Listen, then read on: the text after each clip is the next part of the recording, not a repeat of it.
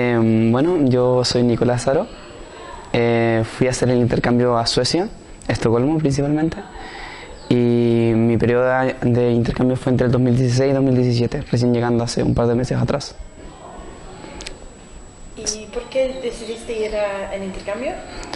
Eh, primero fue por instancias de que mis hermanos habían ido de intercambio y mi familia había recibido dos chicas de intercambio antes. Una que no alcancé a conocer como mucho, pero una de mis hermanas de intercambio fue muy cercana a mí eh, durante hace 10 años más o menos. Entonces como que me quedó el bicho del intercambio muchos años y luego quise intentarlo por mí mismo.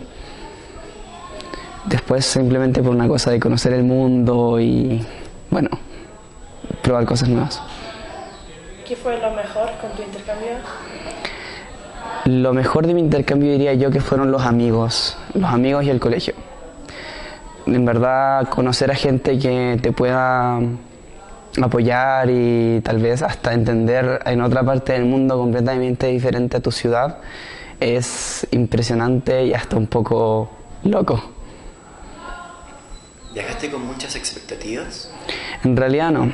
Sabía que Suecia era tal país y nada más. No quise buscar ni quise como investigar mucho más. Quise hacerme las expectativas yo mismo estando allá. ¿Y crees que fue bueno viajar con expectativas a un país? Mm, en verdad no, porque si te haces mucha expectativa, como le pasó a algunos compañeros, te decepcionas del país o al revés, puede ser mucho mejor, pero las veces que es peor es mucho más posible que pase.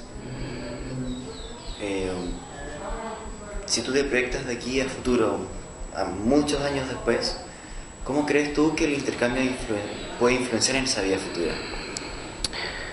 Creo que principalmente en cómo tratar a las personas, en cómo ver el mundo, en cómo intentar ayudar al mundo a evolucionar con cosas pequeñas y a su vez en, que voy a ver las cosas con otros ojos, probablemente con ojos que un chileno no vería al no salir de Chile. ¿Sientes que eres un ciudadano global ahora? Sí, definitivamente. Y de hecho me gustaría seguir viviendo esa experiencia de una u otra manera. ¿Te gustaría también seguir siendo voluntario en YFU o recomendarle YFU a otras personas? Sí, en realidad que sí. YFU, además de darnos la posibilidad, los voluntarios son una cosa que me llama mucho la atención. Y por ahora tengo pensado hablar con mi, con mi director de colegio para hacer una pequeña preparación con respecto a YFU. ¿Y qué quieres decir a jóvenes que están pensando en ir en intercambio con YFU? Decirles que vayan por todas, que no pierdan el tiempo y que si el idioma es un completamente diferente al inglés, que no usen el inglés, hablen el idioma del país.